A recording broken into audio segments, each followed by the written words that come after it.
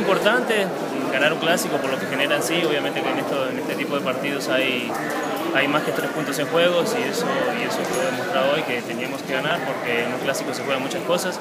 y si a eso le sumamos en el momento en el que estamos en el torneo creo que, que nos favorece mucho porque estamos en el cierre del mismo y obviamente que los puntos valen, valen y mucho. La lucha interna es bastante interesante, ¿no? Todo el mundo quiere aprovechar las oportunidades que le dan Pepe. Así es, así es, el, el, ha sido la tónica durante todo el torneo,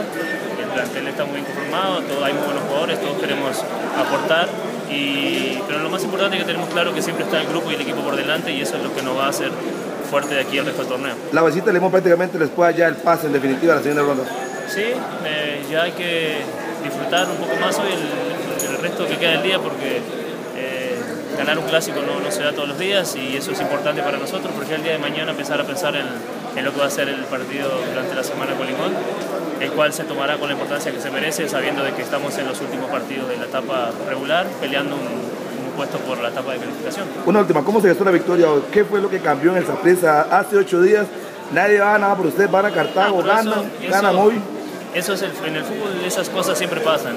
Lo que hemos tenido siempre en claro es que cuando uno gana no es el mejor y cuando uno pierde es el peor. Y entonces hemos tenido un equilibrio en, eso, en, ese, en ese aspecto, de que cuando las cosas van mal y han ido mal durante el torneo, confiar en el trabajo y, y reforzar eso mismo, creer en uno mismo, en el trabajo que hace durante la semana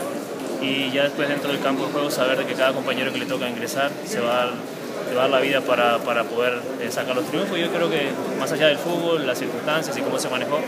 quedó demostrado de que todos los que tuvimos chance de, de, estar dentro del campo nos entregamos al máximo para que esa prisa se quedara con los tres puntos. Pepe, la última, no normal verlo en el banco, ¿cómo asimila ese, ese rol que no es normal verlo suplente usted? No, pero es normal en el fútbol, hay etapas donde eh, uno tiene que aportar del lugar que le toca, eso